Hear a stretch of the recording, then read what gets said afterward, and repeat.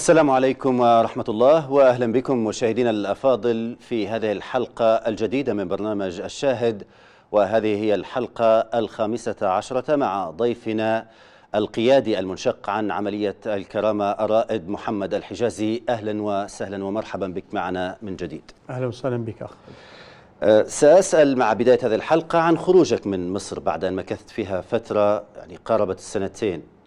نعم. أنت غادرت ليبيا اتجهت إلى مصر كما سردت في الحلقة الماضية.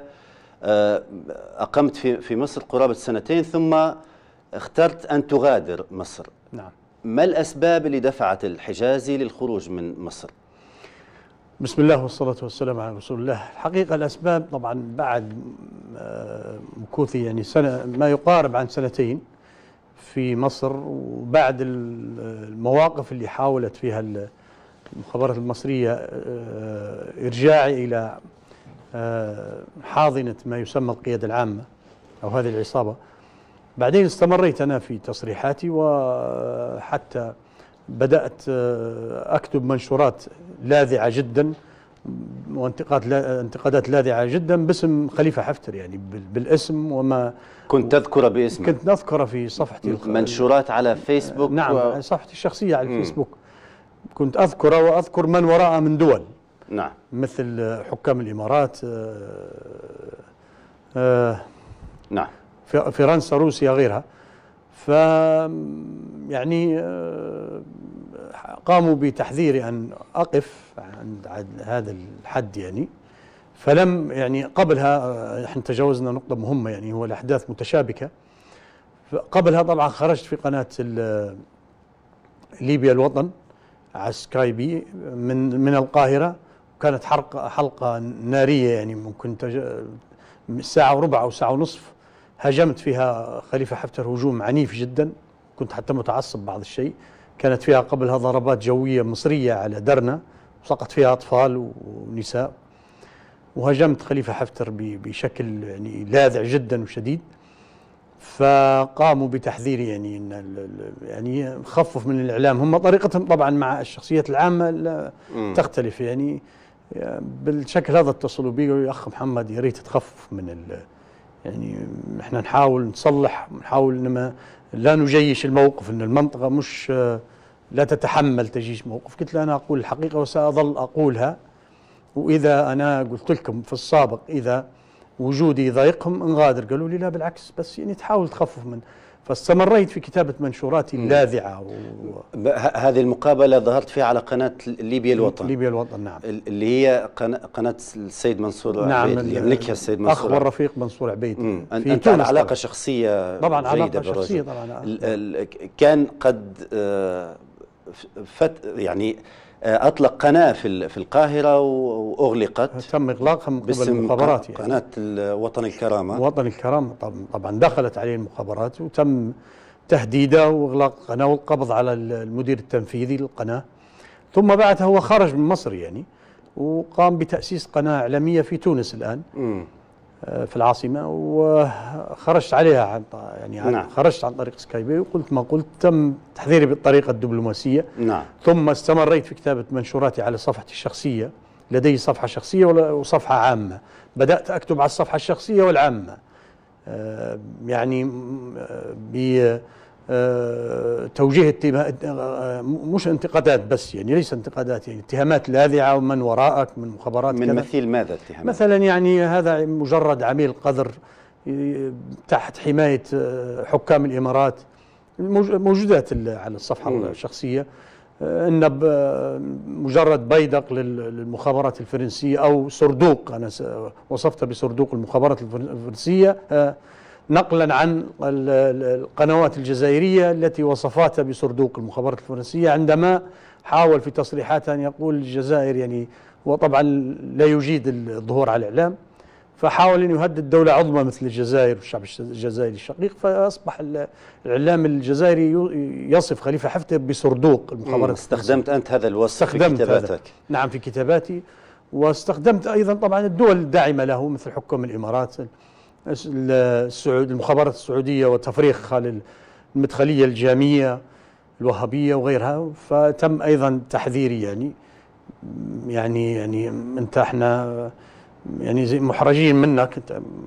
من القيادات ومن الرموز شخصية يعني لا نستطيع أن نتعامل معك إلا بهذا الأسلوب. يعني يا ريت تقف عن هذا وخاصة في هذه الفترة الحساسة. فقلت لهم أنا لن أقف على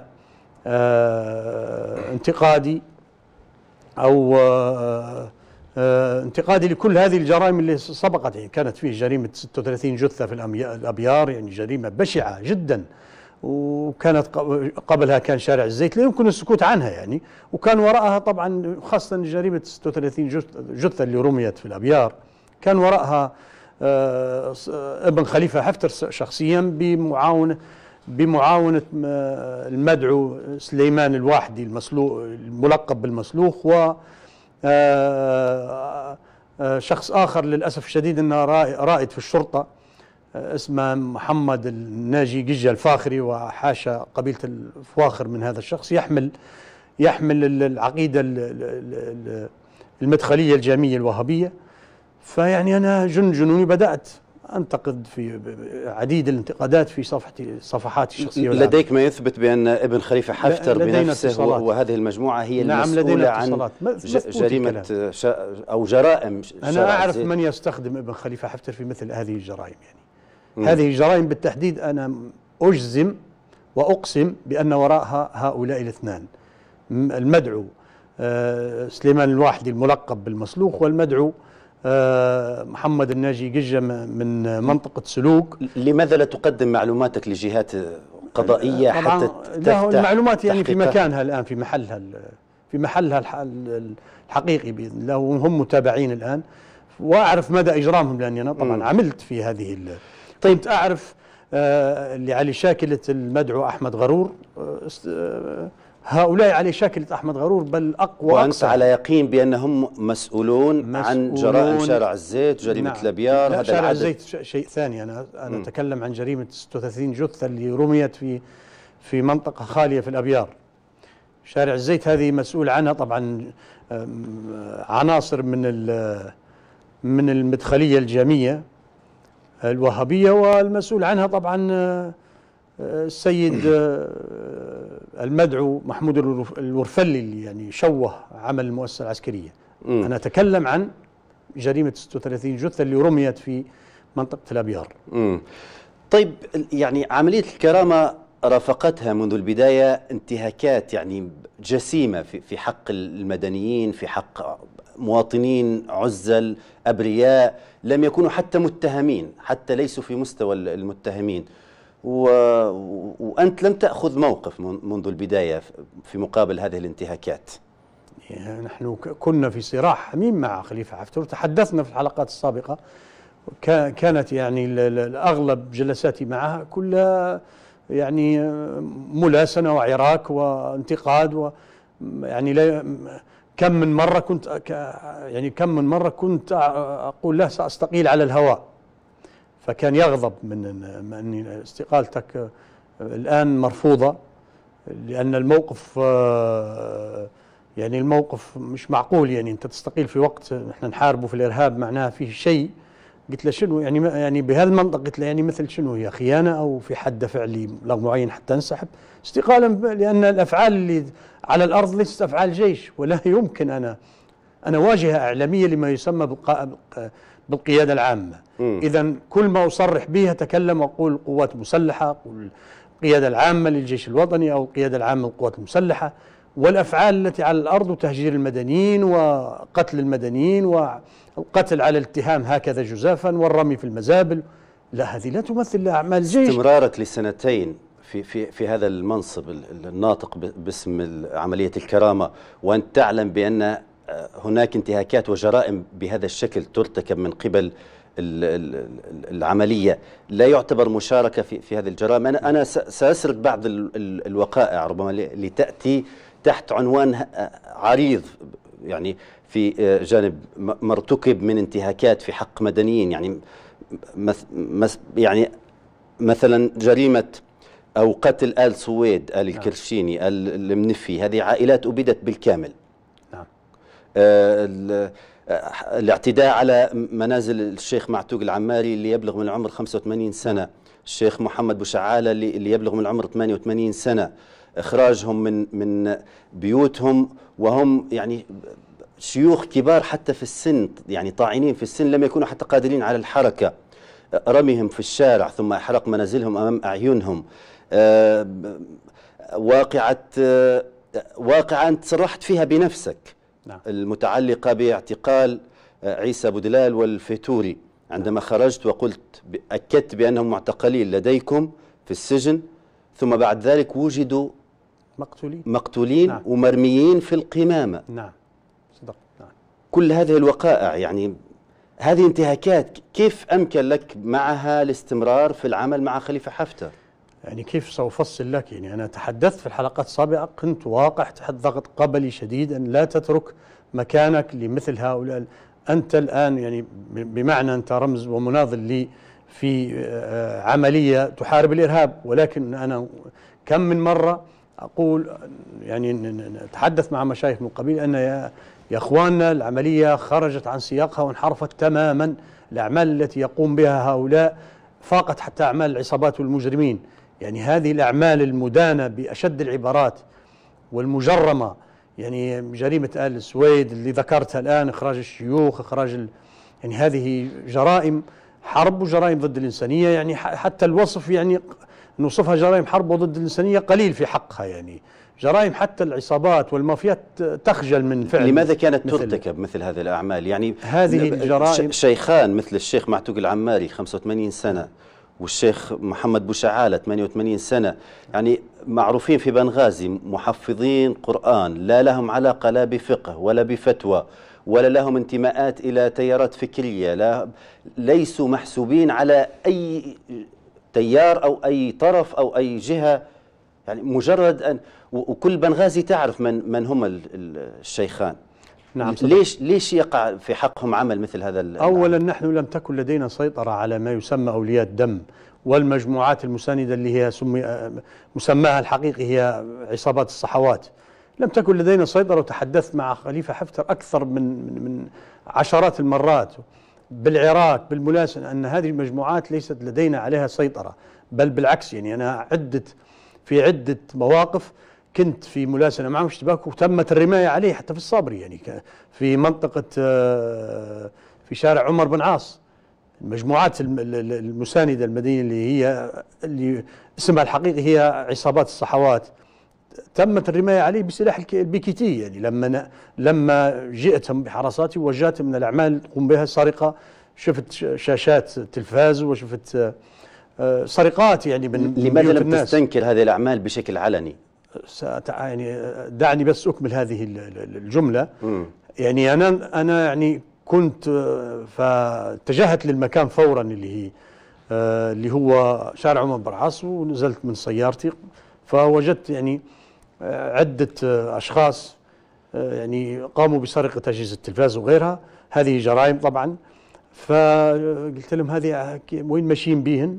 وأنتم كيف أنتم إحنا إحنا هذه إذا كان جيش هذا الأمر في في في وجوهنا نحن. سرقوا تلفزيونات وأثاث يعني من البيوت بعد الاعتداء عليها. بعد الاعتداء عليها وبعد يعني حصل الكثير من ال يعني هذه مثال بسيط على أنني قلت لهم رج رجعوا كل ال كل شيء في مكان أو آه، تجمعوهم في مكان معين امرت عسكري يجمعهم في مكان معين في مخزن معين حتى بعد يرجعوا السكان كل حد يستلم. فقالوا لي أنت يعني شوف شوف الرد يعني.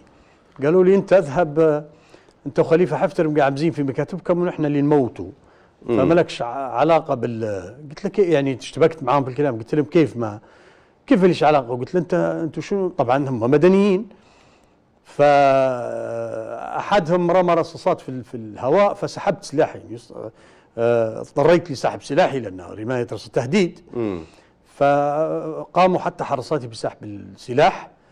وسحبت سلاحي وفجأة شورى رموا فوق رموا وصل الأمر إلى هذا الحد. نعم وصل الأمر للرماية فوق رأسي وتحت رجلي فبدأوا حرساتي بالرماية.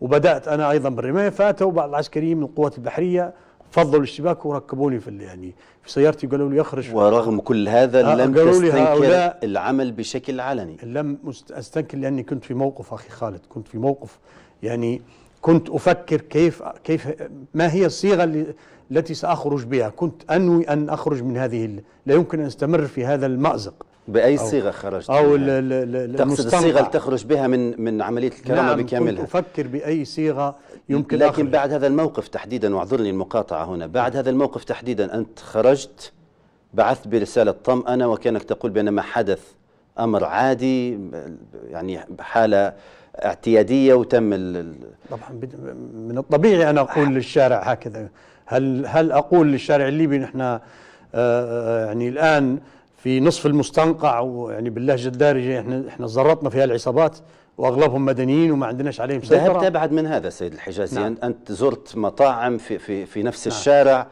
ظهرت في الإعلام وقلت أنا الآن احتسي القهوه في في لا، ليس في نفس الشارع. في نفس الشارع و لا لا في في منطقة الحدائق والمناطق اللي بها يعني ناس حتى لو مش في نفس آه، الشارع راقين يعني في هي ال- المسألة أنك أنت حاولت أن تخفي هذا العمل بشكل أو بآخر بظهورك إعلاميا وأن تتجول في شوارع بنغازي تزور محلات عامة. نعم. وقلت بالحرف أن أني الآن أحتسي القهوة في وسط مدينة بنغازي. صدقت؟ نعم. هذه كلها رسالة طمأنة للشارع الليبي. يعني لا كنت في كيف موقف سيد الحجازي؟ كيف من جهة في- تستنكر على خليفة حفتر أستنكر. وعلى هؤلاء يعني ما يفعلون من انتهاكات ومن جهة تخرج لتخفي أي ملمح من من ملامح هذه الانتهاكات اللي, تجري على الأرض؟ أنا, أنا رسالتي أريد أن أطمن بها آه، أهلنا في بنغازي الموجودين اللي يعتقدوا أن جيش ويعتقدوا أن هناك هل أخرج وأقول أن هذا هذه عصابة ولا يمكن الاستمرار؟ كنت أريد. طبيعي أن تصارح طبعا الناس. طبعا من طبيعي ولكن في الإعلام العسكري فيه أمور يعني في حرب إعلامية يجب أن آه، يعني ممكن آه، تزيد حدة في التصريح أو تخفض حدة التصريح يا تزيدها يا تخفضها فكنت مجبر على أني أطمئن الناس هي, هي آه، يعني من أجل الناس الموجودين في بنغازي مش من أجل خليفة حفتر لا. تعتبر لكن اشتركت في تلك الأعمال بهذا الشكل لا لما الحجازي؟ إلى لما أكون بجنب خليفة حفتر ما يعلم الله بما يحصل بينه وبينه يعني فكنت في موقف لا أحسد عليه وكنت أريد أن أتخذ موقف أجلس مع مشايخ القبيلة يقولوا لي لا يعني بالمنطق مش وقتها وأنت الآن حتشق صف ال... وهذا يعتبر صمتك عن هذا الحجم رمز. هذا المستوى المريع من الانتهاكات لا ليس صمت. ليس مشاركة فيها أنا لم أصمت عنها يا أخي خالد أنا أتكلم مع ما يسمى. برأس القيادة كان لك دور في إخفائها سيد الحجازي كيف لم. تصمت عنها ليس إخفاء أنا أريد أن لا أريد أن يصاب أهل بنغازي بالاكتئاب أو بالنكبة لأن الجيش كانوا كان الناس مرتبطين به نقول لهم هناك في عصابات مثلا في في في لو تلك في في شارع؟ جمال أو في ي- لو صرحت أهل الأمر بنغازي خطير يعني الأمر سيد مش سهل. الحجازي نعم لو صرحت أهل بنغازي من تلك الفترة بما بحقيقة ما يجري على الأرض وبحقيقة ما يعتقدون أنه جيش ومؤسسة عسكرية ألم يكن أفضل حتى قياسا لما وصلت إليه الأمور؟ لم يكن الآن أفضل لأن أنا بعدها بفترة قليلة انفجرت وخرجت عن ما عن صمتي وتكلمت فلم يتفاعل معي أحد من أهل بنغازي. أهل بنغازي يعرفون جيدا أن بيوتهم انت- انتهكت. سرق حتى الموجودين في بنغازي يعني غير المهجرين.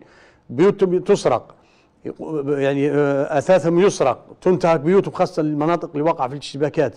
الناس اللي موجودة آه، مهجرة في المد... يعني في ال- نازحة في المدارس وفي الأماكن العامة فكانوا يعرفون وأنا طبعا كانت الفترة م- ليست ب- ب- ب- بكثيرة بعد هذه المواقف فانفجرت وخرجت عن صمت. كانوا يسمعوا سماع سيد الحجازي لكن عندما يخرج الناطق باسم العملية ويتحدث ويعلن ما, ما يجري على الأرض و و ويحدد حجم الانتهاكات اللي تقع في حق المدنيين من أهل بنغازي كان سيختلف لم- الحال لم يعني يختلف قيمة, الأمر. قيمة التصريحات عندما تأتي منك غير عندما يسمعها أهل بنغازي سماع لم يختلف في, في الأمر. مستوى التشكيك وفي مستوى التكذيب أخي ثم. مسألة أخرى أنا سأعطيك المجال لترد لكن قبل ذلك أكمل بس فكرة السؤال ال- ال- بالمجمل لا تجد أنك تأخرت في إعلان هذا في إطلاع أهل بنغازي على ما يجري لا لم أتأخر أولا أنا لم أحضر الجرائم التي حوصر فيها الأطفال والنساء في قنفودة لم أكن موجود وأحمد الله على ذلك ولم أكن موجودا في عدة جرائم قاموا بها سواء في قنفودة والله في القوارشة لكن ما كانتش المدة بعيدة بعد الجرائم اللي يقوموا بها ما يسمى بالصحوات هذه رغم ذلك انفجرت وخرجت. ماذا فعل الناس؟ لم يتفاعل الناس مع بياني اللي كان من ثلاث صفحات. ربما لأنه جاء متأخرا لا لم يتأخر البيان. سنتين بعد إطلاق العملية. سنتين ولكن كان الموقف قريب جدا وكان خليفة يعني مش بمثل هو القوي الله سبحانه وتعالى. مش مش بمثل الإمكانيات اللي موجود بها توا الآن. لم يكن الدعم الخارجي بهذه يعني تعتقد لو أن حصلت حولك حالة التفاف شعبي كان يمكن أن تغير واقع المدينة كان يغير تماما. كان يسقط الرجل وينتهي تماما يعني كان يعني ما ما طيب بغض النظر عن هذا أنت صمتك طيلة سنتين لا, لا تجد فيه نوع من المشاركة في الانتهاكات أنا اللي وقعت أجد فيه لأنني. أولا تعاملت مع عدة جهات بعدها بعد البيان يعني جهات حقوقية دولية غيرها غيرها. مش داعي الذكر اسمائها وتحدثت على بعض. مش مثل هذه المصارحة في هذه الحلقات يعني تحدثت عن معلومات خطيرة وعميقة. امم ما زال في معلومات أخطر وأعمق من اللي لا ذكرتها؟ لا لا هو أغلب المعلومات العميقة والخطيرة ذكرناها في هذه الحلقات. لكن تحدثت مع مع جهات كثيرة. قبل ما نخرج ببياني أيضا تحدثت مع مشايخ قبيلتي ومشايخ قبائل أخرى. تحدثت مع رجال في يعتبروا في الدولة تحدثت مع وزراء في حكومة الثني تحدثت مع السيد الثني نفسه تحد أريد أن تحدثت مع عقيلة صالح للمرة كيف كنت تصف لهم الوضع؟ تحدثت مع المستشار عقيلة صالح ثلاث مرات قبل ما أخرج يعني تحدثت مع مسؤولين في الدولة لما كيف كنت تصف لهم الوضع؟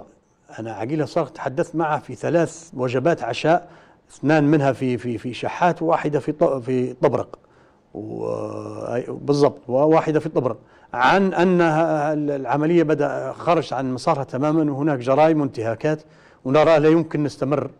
أنا أرى لا يمكن نستمر أو آه، أتورط أمام الله سبحانه وتعالى وأمام التاريخ وأمام الليبيين في مثل هذه الجرائم. كيف رد عليك مجلس النواب؟ رئيس مجلس النواب. عقيلة يعني الحقيقة المستشار عقيلة صالح يقول لي الجرائم مثل ماذا يعني؟ فتحدثوا عنها بالتفصيل في جرائم تحدثنا عنها بالتفصيل. فيقول لي في الآخر بالكل إذا كان هو قائد عام مش حاكم في قيادته وهو راس القيادة فالمسؤولية تقع عليه هو هو قائد عام. هو كلفناه. هو قائد أعلى هو, هو قائد أعلى المسؤولية بالقانون. لا لكن لا يتحمل مسؤولية قيادة ما يسمى الجيش الميداني. من يتحمل مسؤولية قيادة الجيش الميداني؟ في النهاية الميداني. المسؤولية ستطال لرأس القيادة القائد الأعلى. ولو أنها المسؤولية تطال حتى هو طبعا بالتأكيد لأنه قائد أعلى. ولكن فعلا قال لي الآن أنا لست لا أحمل بندقيتي ولا وليست لدي رتبة ولا أجلس في مكتب خليفة حفتر في في المرج في قيادته أنا أعطيته الصفة والمنصب وهو يقود الجيش في الميدان. القيادة الميدانية له هو وهو من يتحمل المسؤولية.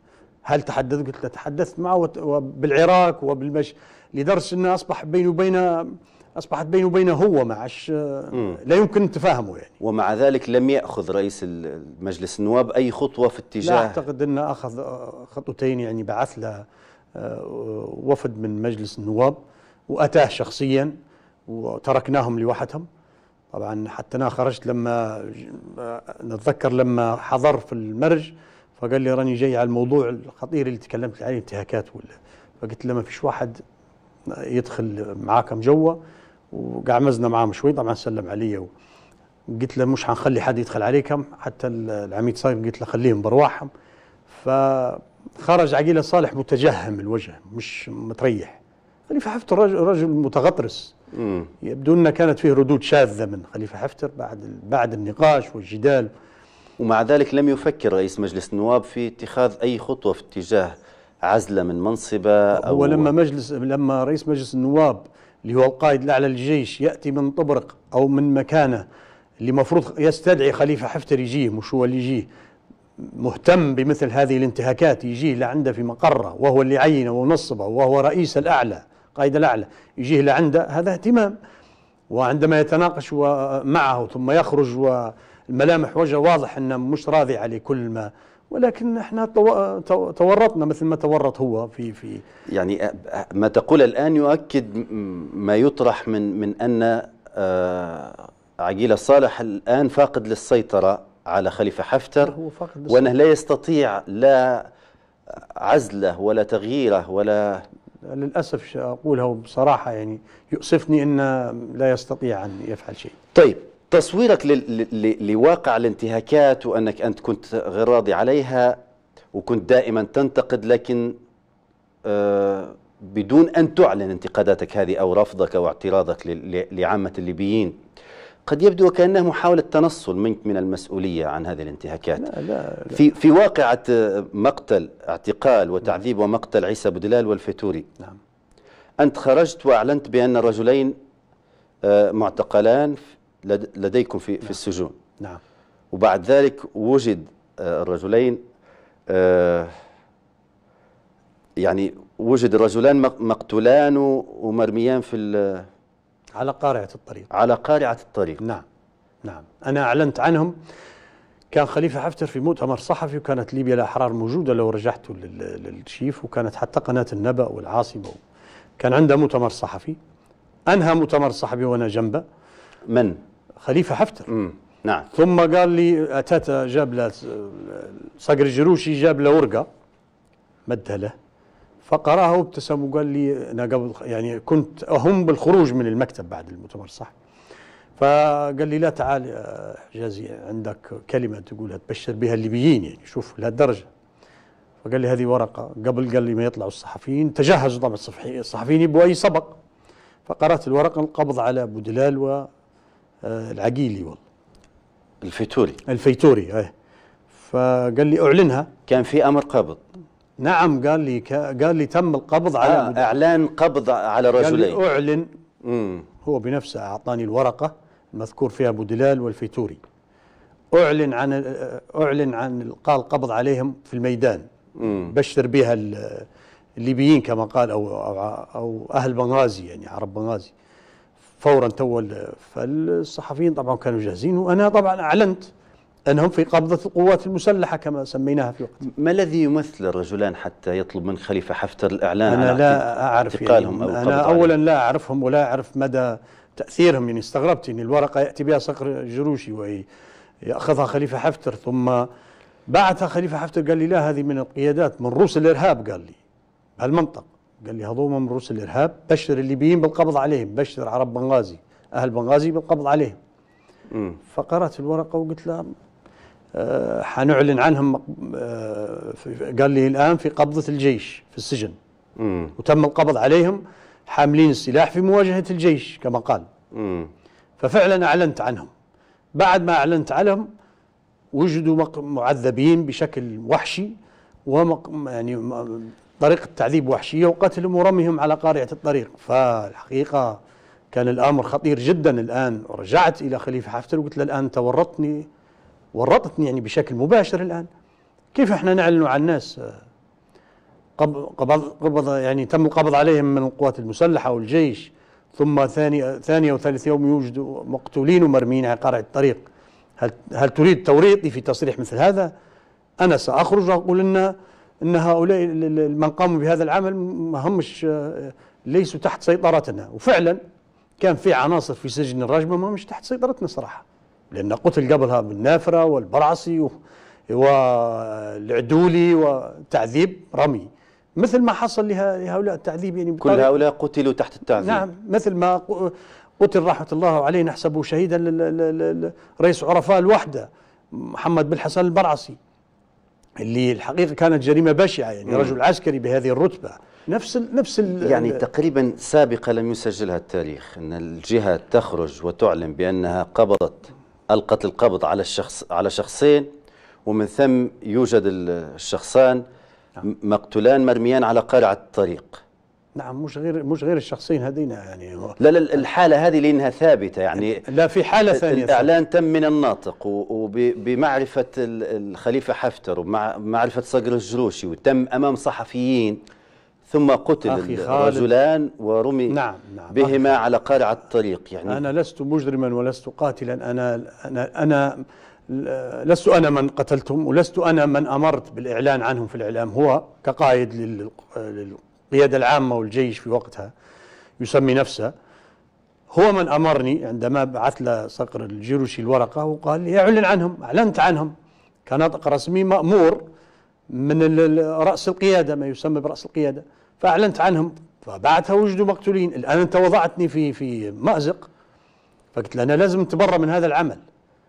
فقال لي شنو هذول رؤوس الإرهاب؟ قال لي شنو نقبون يعني بهالمنطق وللتاريخ وحقيقه خليفة حفتر لا مشكلة عنده أن يقتل خارج سياق القانون. أنا نعطيك ما قال لي بالتحديد.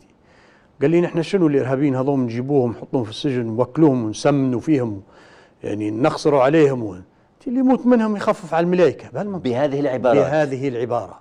قلت له انت تأكدت من هؤلاء الاشخاص انهم من ارهابيين ما يثبت لك إنهم إرهابيين يا حاج رقم أرانا رأوا في أشياء أصبحت على عواهنها ألقط فلان واتهمه بالإرهاب واقتل واعزق على الطريق. ما اولا ما ما ما ما, ما يدرك إنهم إرهابيين. ولو كانوا إرهابيين ما يحقلكش لما يكونوا في قبضتك انتهى الأمر.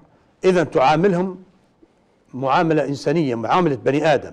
العقوبة على الفعل وليست الانتقامية. لكن سيد الحجازي عملية الكرامة من بدايتها قامت على على هذه المنهجية. نعم. يعني السجن بيرسس السجن بني على أرض ملك لشخص وقام ببناء على حسابه الشخصي. وكان يدار خارج سلطة العملية أو بمعرفتها أنا لست مطلع على التفاصيل.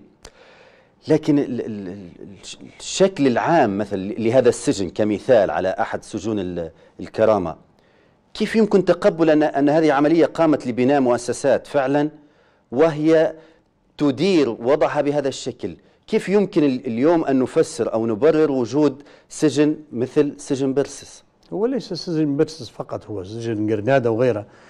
هذه كلها تحت سلطة يعني آه، خارج آه، يعني فعليا خارج السلطة يعني. صوريا إنها تحت القيادة العامة. ولكن الأفعال اللي والجرائم البشعة اللي تقام بها خارج سلطة بل بالعكس هو خليفة حفتر يعني لا يعني يأبه لا يأبه بأي جريمة تقوم في السجن. هذا إرهابي يعني نحن نبغى نوكلوه نسمنوه ونخسروا عليه اللي يموت منهم بهالشكل. كنت تزور هذه السجون؟ زرت سجن قرنادة في البدايات. وزرت سجن سجن برسس وسألت السجانين عن وضع السجون المحاضر ما يثبت أن هؤلاء إرهابيين أو, أو, أو لا آه، شنو المعاملة؟ وسألت حتى المساجين آه، شنو المعاملة؟ كان المعاملة في مساجين الحقيقة يعني يقولوا المعاملة حسنة وفي مساجين يقولوا إحنا ما علينا كيف كيف كيف ارتضيت ان ان أنك يعني يكون تحت عمل هذه العملية سجن مبني على أرض أشخاص أسرة. يعني حتى السجن ارتبط بلقب عائلة. نعم. كان كان يدار بشكل خارج نطاق القانون. أن أنت كنت تعلم بأن أن هناك عملية تعذيب شنيعة تتم وانتهاكات صارخة تتم داخل داخل هذا السجن وغيره. كان يوجد في السجن أطفال كان هناك شباب صغار يعني يعني الاعتقال والتعذيب على شبهات لا لا ترقى حتى إلى حد ال ومع ذلك يعني كنت تزور السجون وكنت شاهد على ما فيها من انتهاكات سيد الحجازي. نعم.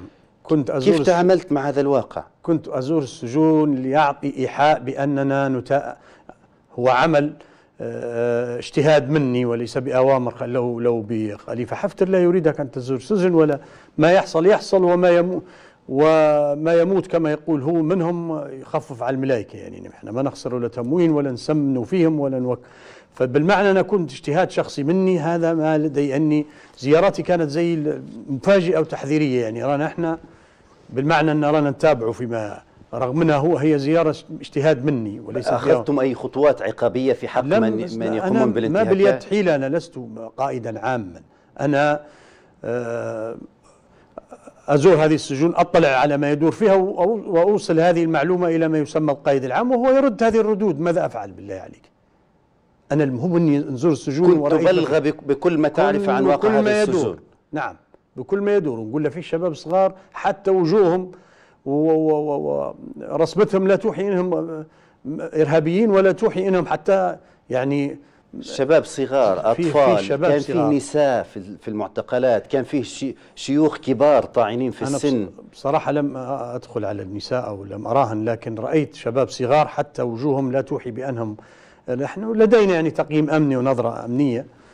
تقيم الشخص اللي قدامك لما يصبي قدامك حتى من ناحية قلت له يعني فيه ما شباب صغار ما يوحيش حتى أن مالش علاقة باي كيف يعني يتهم يعني اتهام علي علي عواهنا وارمي في السجن وخلاص. وكيف ن ن انت انت هكذا تخلط بين العمل العسكري والأمني. يعني انت انت رجل عسكري, أنا عسكري ما علاقتك بالجانب الأمني. لا لكن عندي نظرة في الشخص اللي قدامي. الشخص الاشخاص اللي قدامي صغار في السن ما أعتقدش حتى البندقية يقدر يحملها. يعني مش معقول إنه يكون ما يعني آه، شنو سبب الإتيان به مثل سجن جرناده بالتحديد يعني. كانوا يعني موجودين في داخل السجن. كان فيه شباب اثنين صغار أنا التقيت بهم في سجن جرناده وقالوا لا كانوا هذوما يساعدوا.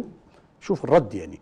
كانوا هذوما يساعدوا في الإرهابيين يعني يعطوا فيهم فلوس باش ينقلوا لهم المفخخة من مكان طبعا شاب صغير ما بيش انت تشك فيه لما ينقل صاك وفيه مفخخة ويحطها في مكان معين. شاب صغير أو أطفال؟ شباب صغار. مم. شباب يعني يعني 14 سنة 15 سنة. باقي القيادات في عملية الكرامة كانوا على علم بواقع هذه السجون وما يحدث فيها من انتهاكات لا يستطيع أحد ان يتكلم صقر الجروشي كان يعلم كان يعلم ولكن يقول لك بالمعنى باللهجة اللي كان يرد علي بها صقر الجروشي يقول لي الدائرة الأولى هذه ما نقدرش أنا نقول لهم شيء يعني الناظوري كان يعلم؟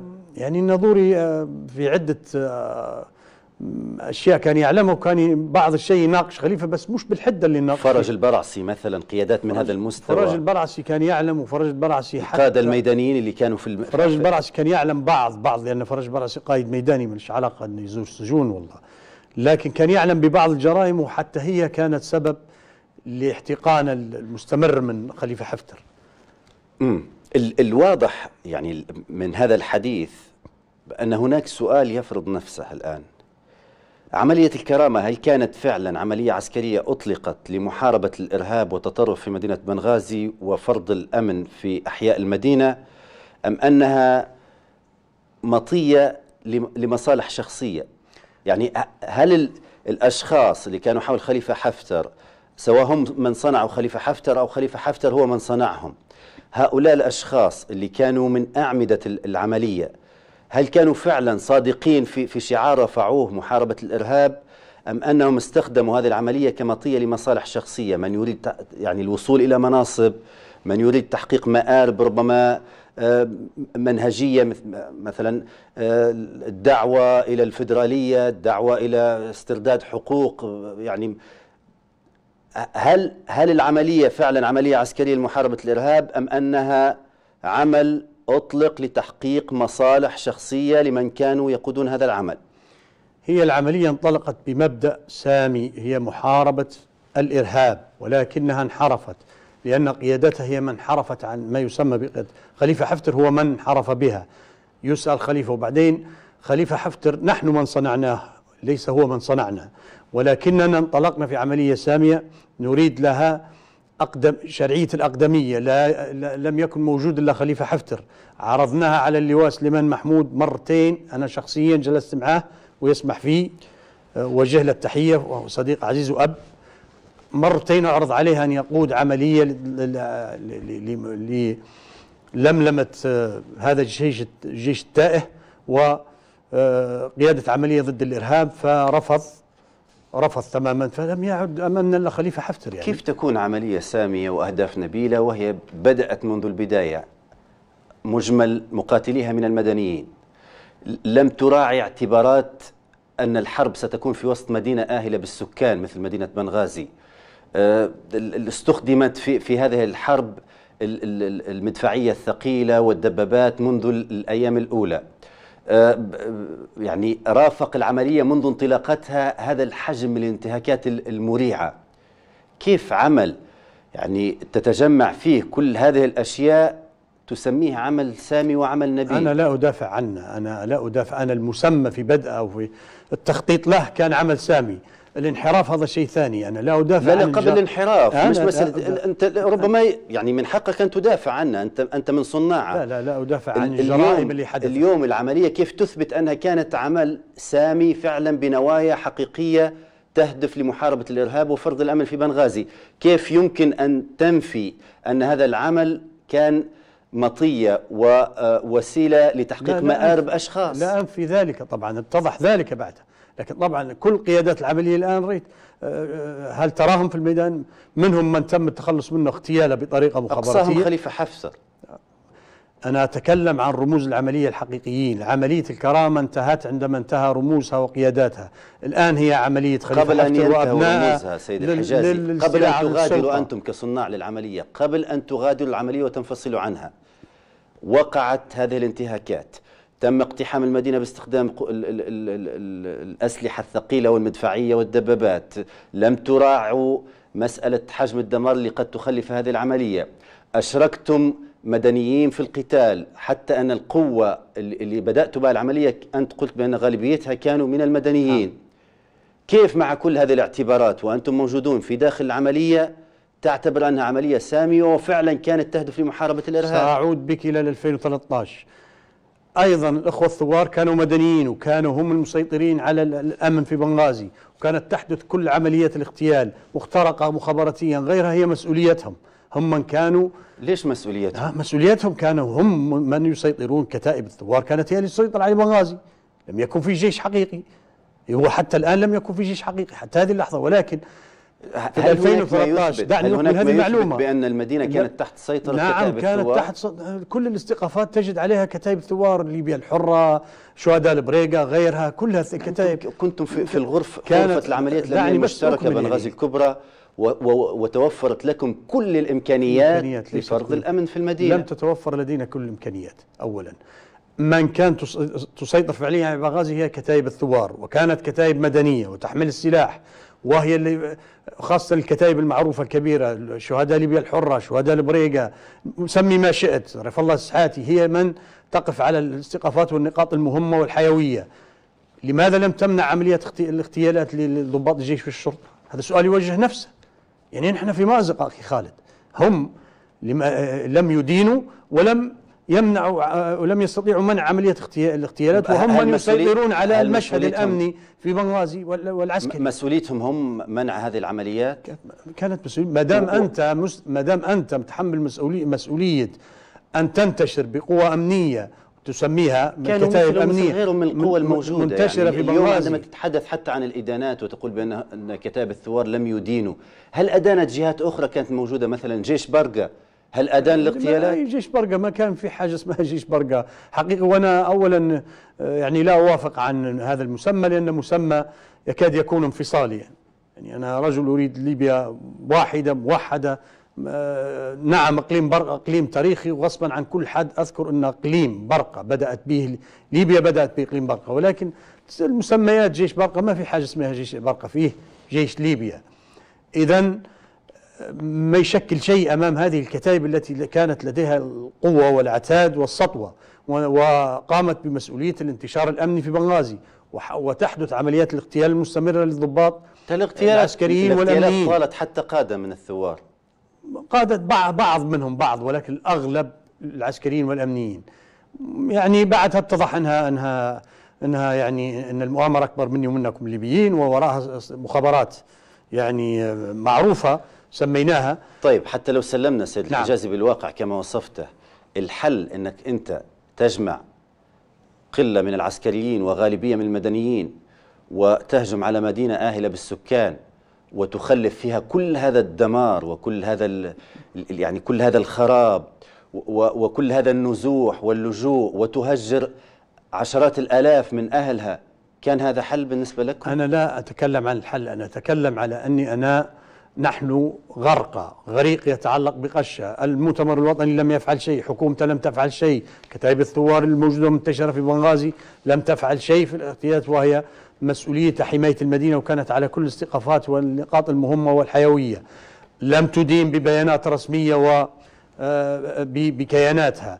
فكنا يجب أن نتحرك يعني هل نقف صامتين حتى يأتي طيب. الموس على الرقبة يعني على كل أنت الآن أجبت بكل صراحة عن الأسئلة و... وأنا كان من الضرورة أن أطرح مثل هذه الأسئلة حتى وإن نعم. بدت يعني الأسئلة فيها آه، نوع من المباشرة لأن هذا الموضوع ليس بالموضوع السهل وفي النهاية المشاهدين والليبيين بعمومهم سيحكموا على كل هذه المعطيات أعود بك إلى إلى سياقنا.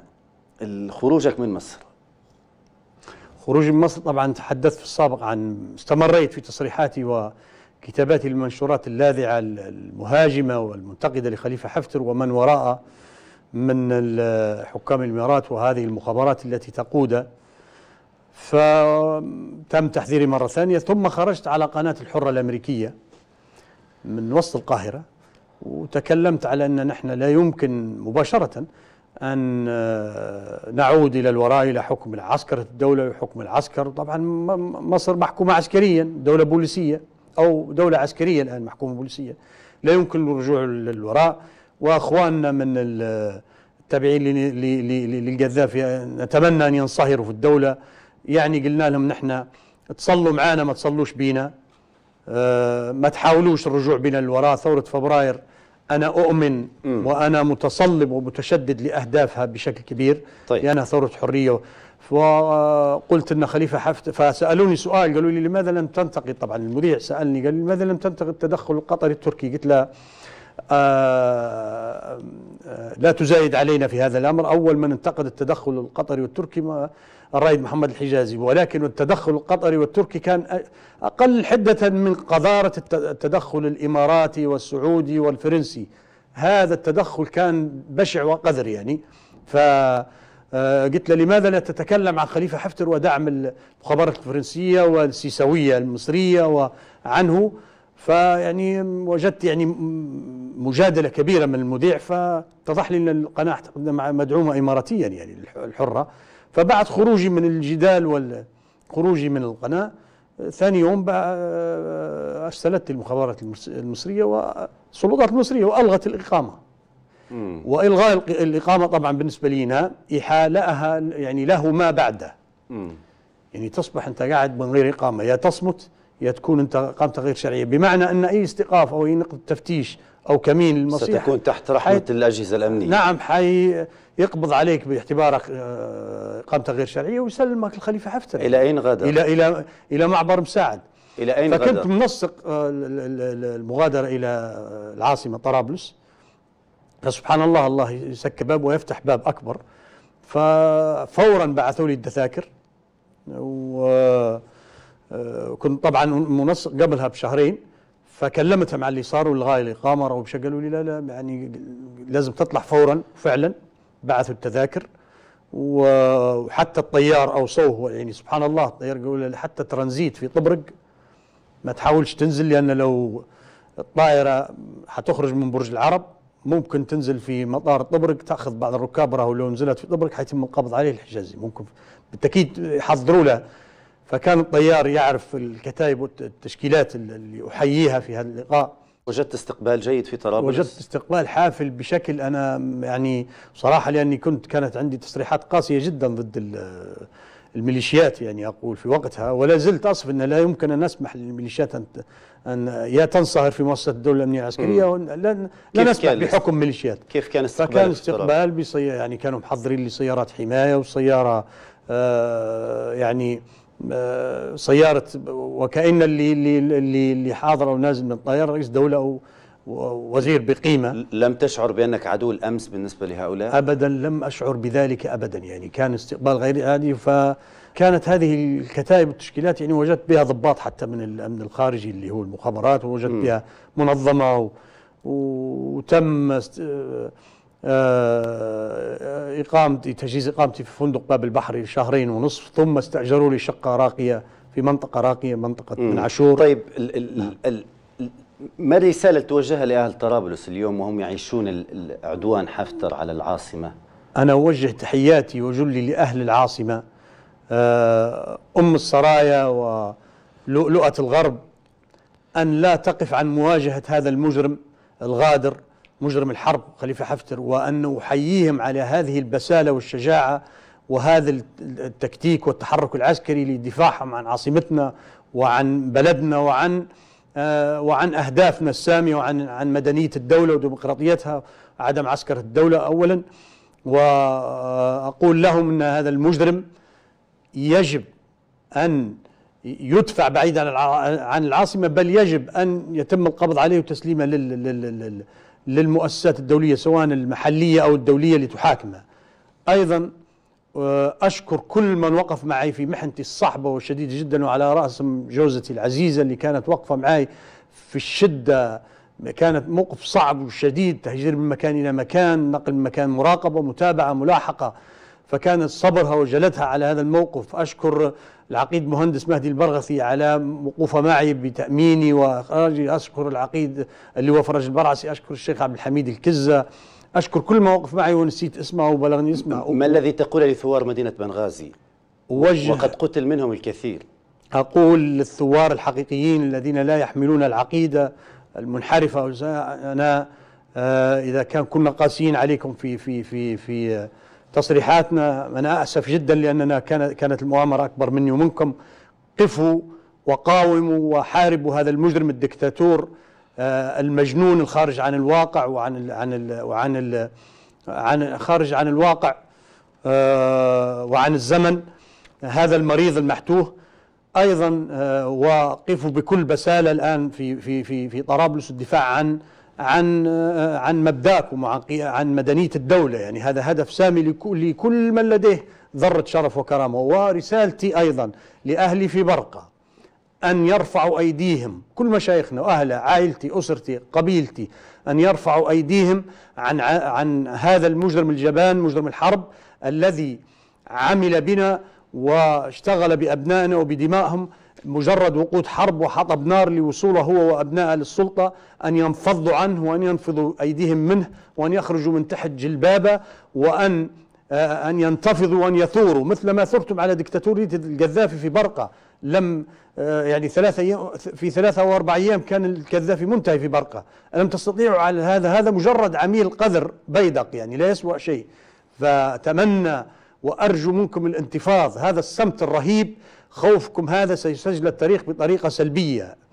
أتمنى ونأمل بل أرجوكم أرجوكم أرجوكم أن تقوموا بعمل تاريخي يسجل لكم تاريخ بالانتفاض ونفض أيديكم والخروج عن هذا المجرم القذر الذي سيضعه التاريخ في أسود صفحاته المظلمة. ختاما للنازحين والمهجرين من أهل بنغازي اليوم. أسف جدا آه، على ما ما يعني ما حصل لكم. نعم كنا جزء من من من سببه ولكنني أنا ليست لدي لا قوة عسكرية لكي يواجه خليفة حفتر في وقتها وكان لدي كان يعلم الله بما يحصل بيني وبينه وذكرناها في في عدة حلقات. وأنا أسف جدا منكم وأنا وأنا أبرأ إلى الله سبحانه وتعالى من كل هذه الجرائم وأنا أعرف مدى الجرح انتهاك حرماتكم بيوتكم منازلكم الاحتداء على حتى على أثاثكم ملابسكم الشخصية ولكنكم بإذن الله بإذن الله انتظرونا انتظروا نحن الآن نخطط لعمل معين عسكري بقيادات آه، برقة يعني مسمى برقة التاريخي الذي بدأت به الدولة الليبية. ستكون قيادات آه، ضباط برقة في المقدمة وأنا أولهم لتحرير برقة من من من خليفة حفتر وأبنائه قريبا وقريبا جدا والإتيان بكم رغما عنهم لأنكم أنتم أهل بنغازي ومؤسسيها ورعيلها الأول. ومعالمها مرفوعي الرأس وسنأخذ حقكم بكل قوة وبكل شدة بإذن الله أشكرك جزيل الشكر نعم. القيادي المنشق عن عملية الكرامة رائد محمد الحجازي حاولنا طيلة خمسة عشرة حلقة في الشاهد معك أن آه، نستعيد وقائع وأحداث كثيرة منذ 2014 مع بداية التجهيز لإطلاق عملية الكرامة وما قبلها حتى واستمرارك لسنتين كاملتين تقريبا مع قيادة هذه العملية ومن ثم انشقاقك عنها وما تلت تلك المرحلة. حاولنا استعادة تلك الوقائع والأحداث وتقديمها من شخص كان طرف مشارك في كل تلك الوقائع وشاهد قريب مما آه، آه، يعني آه، لم يكن مشاركا فيه. أنا مرة أخرى أعيد شكري لك جزيل الشكر على قبولك أن تكون ضيف الشاهد. وأتمنى أن تكون كل هذه المعلومات التي أدليت بها في في حلقات الشاهد الخمسة عشر. هذه سببا في توضيح الكثير من اللبس والغموض اللي ربما آه، أثر على المرحلة السابقة في ليبيا. أشكرك مرة أخرى. جزيلا شكرا أخي خالد. الحقيقة أنا بس أريد أن أقول كلمة يعني حتى جرائم نبش القبور وغير هذه أعمال غير إنسانية. آه، يعني أعمال يبرأ منها حتى الشيطان. أيضا أوجه شكري لأخي منصور عبيد وقوف معي حتى في المرحلة. وجه شكري جزيل لك أنت شخصيا الإعلامي اللي اعتبر وهذا ليس مجاملة الإعلامي المميز القدير في في في حواره مع كل ضيوفه. وأشكر قناة ليبيا الأحرار اللي هي صوت الليبيين وصوت كل الأحرار الشرفاء. وشكرا لكل المعدين وشكرا لكل العاملين. آه، والإعلاميين في هذه القناة الحرة نعم. شكرا جزيلا لك. والشكر موصول لكم السادة المشاهدين على كرم وطيب متابعة شاهد في أمان الله. شكرا.